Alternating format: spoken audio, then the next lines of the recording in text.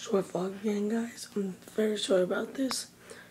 I'm going to try to get vlogs up. Uh, I mean, a long vlog up tomorrow. Sorry about this. Bye.